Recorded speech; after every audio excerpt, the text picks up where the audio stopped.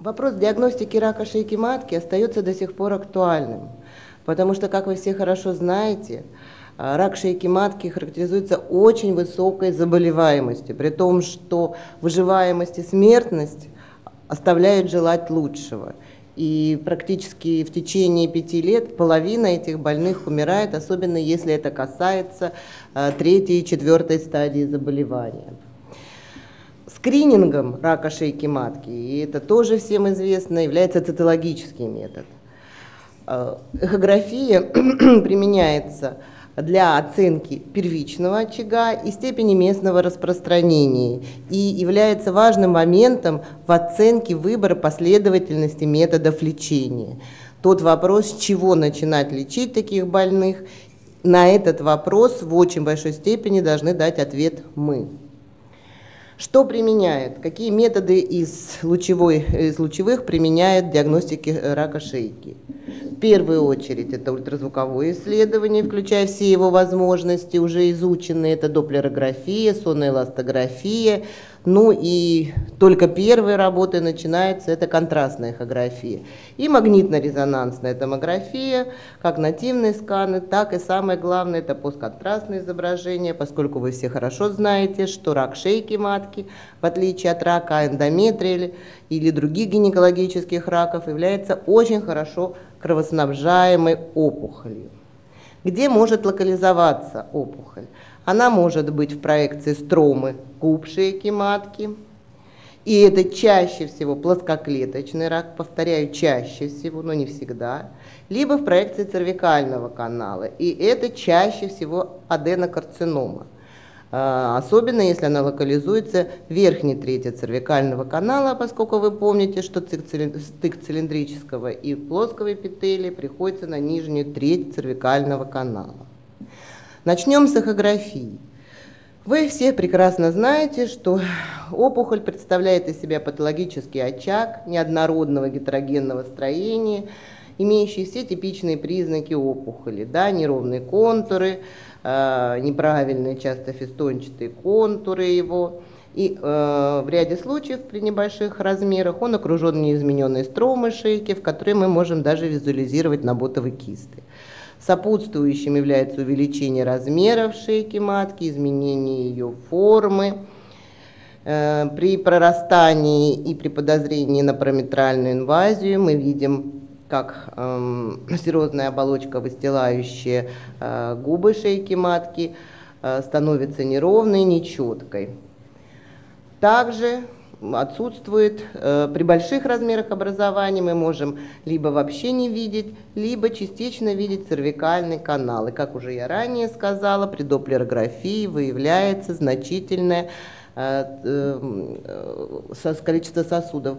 Вот первые примеры трансабдоминальной эхографии э, рака шейки матки. Мы видим образование, которое занимает, в первом случае занимало всю шейку матки, в этом случае проекции задней губы шейки матки. Это трансвагинальная эхография. Мы видим опухоль, локализующуюся в проекции передней губы с, э, допле, с большим количеством сосудов в ее строме. И такое же образование гипоэхогенной структуры с неровными контурами в проекции задней губы шейки матки. Хочется напомнить, что при больших размерах образования Безусловно, трансвагинальная эхография может представлять определенный риск в связи с развитием кровотечения. Конечно, преимущественно надо выбирать трансабдоминальную эхографию. Также хочется отметить, что с высокой степенью специфичности ультразвук может выявить очаг размером от 1 сантиметра. Меньше очаг мы можем, конечно, визуализировать, но точно сказать э, природу этого образования мы не сможем. Если говорить о цервикальном канале, мы видим образование, которое выполняет весь цервикальный канал. Также Э, но в отличие от опухоли, э, которая локализуется в строме, как правило, это образование имеет сигнал пониженной эхогенности. В первом случае ограничено непосредственно цервикальным каналом с минимальной инвазией. Во втором случае мы видим инвазию практически до сирозы, когда опухоль занимает весь цервикальный канал. С чем надо дифференцировать? Ну, в первую очередь, с шеечным узлом миомы. Достаточно просто. Округлое образование, э, преимущественно повышенной эхогенности, имеет капсулу. Второй случай – это наботовый киста шейки матки, жидкостное образование с ровными контурами. В принципе, э, дифференциальный диагноз не представляет большой сложности. Что может еще эхография, помимо того, что визуализировать первичный очаг? Эхографически мы можем оценить переход на тело матки, как в первом случае, и на мочевой пузырь. При этом во втором случае мы видим даже наличие внутрипузырного образования, которое выполняет частично сам мочевой пузырь.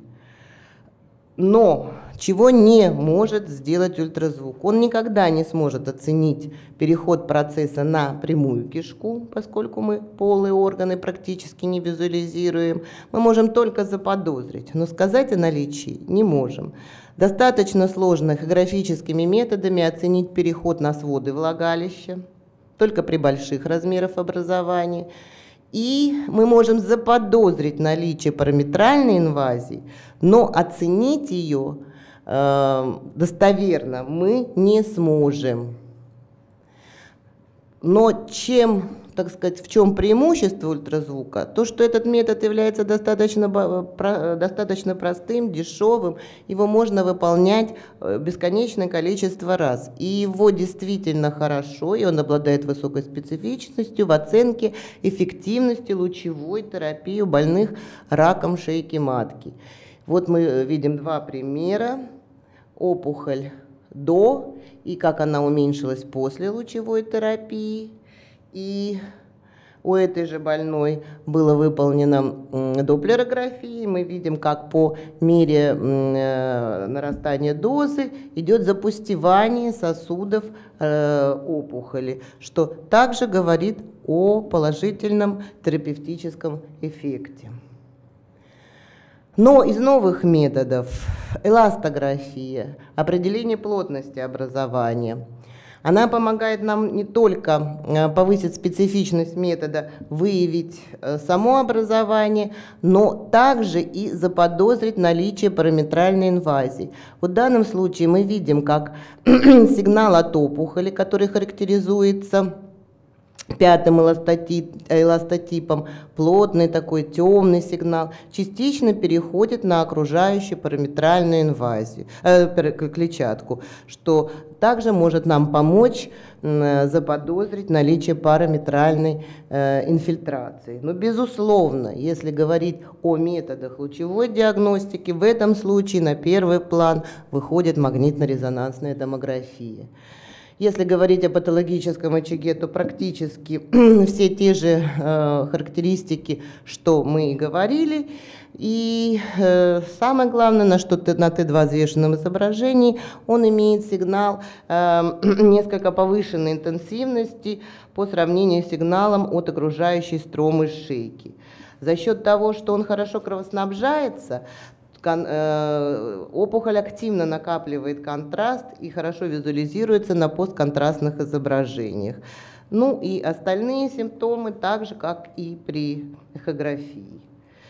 Вот пример небольшого образования, локализующийся в проекции преимущественно задней губы, имеющий сигнал повышенной интенсивности с неровными, нечеткими контурами то другой вот больной, тоже Т2 взвешенное заграждение, то уже опухоль большая в размерах.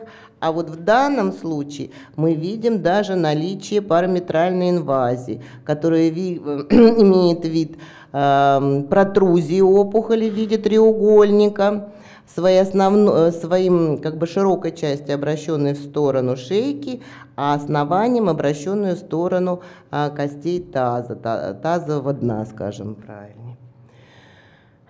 Э, тоже та же больная, в, это уже аксиальная проекция, мы видим инфильтрацию параметров в виде тяжистой деформации структур клетчатки и развитие опухолевого лимфангоида. В данном случае мы можем, э, при, э, мы можем хорошо оценить прорастание мочевого пузыря, как на Т2 взвешенных изображениях сагитальной проекции, так и в аксиальной. Мы видим, что в данном случае отсутствует визуализация от неизмененной клетчатки, и сигнал от опухоли переходит на заднюю стенку мочевого пузыря.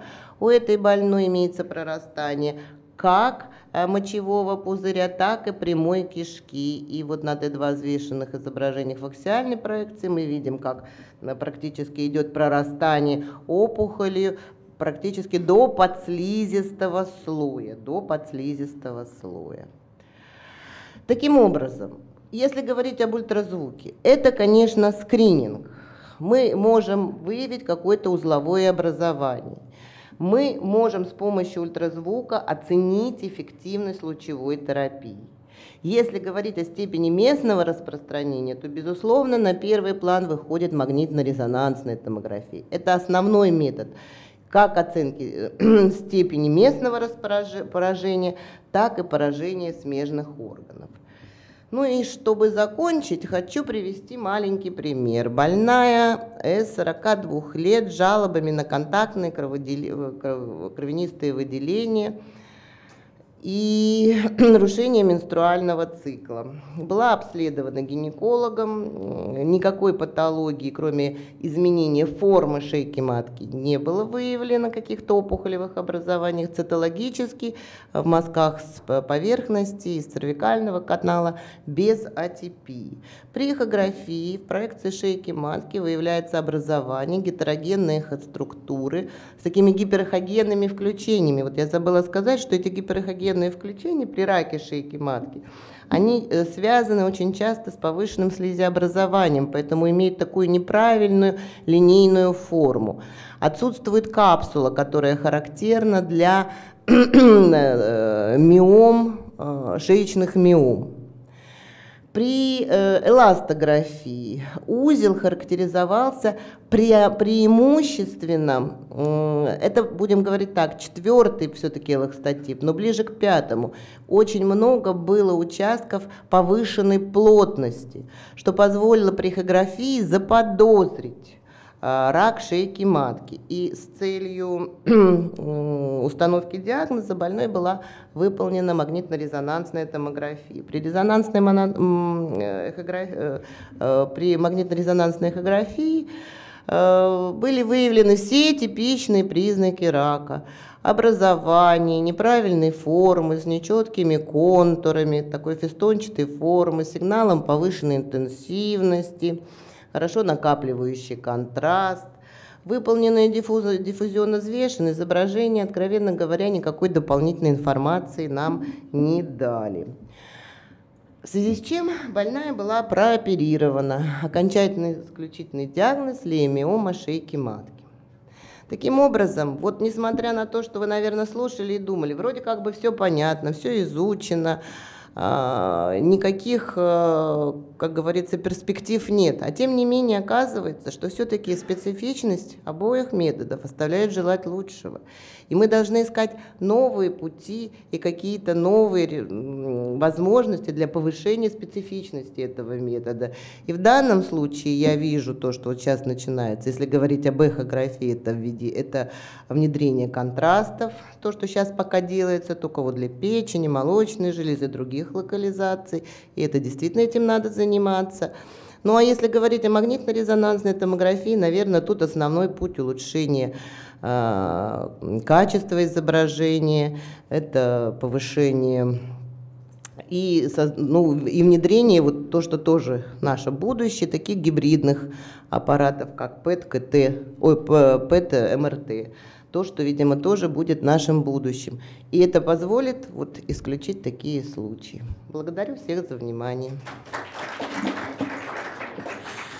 Какие вопросы, пожалуйста? Есть ли вопросы аудитории? Может быть, какой-то клинический случай, вы хотите задать вопрос по этому поводу? Ирина Евгеньевна, вот рак шейки матки, э, в большинстве случаев экзофитные опухоли, э, кровоточащие, то есть это затрудняет влагалищный э, доступ Безусловно, исследования. да. Насколько, то есть, то есть только возможность абдоминального метода исследования, насколько это затрудняет диагностику в ключе ультразвукового метода? Ну, безусловно, это затрудняет, потому что хорошую визуализацию очага мы получаем, если говорить об эхографии, транс, при трансвагинальной эхографии.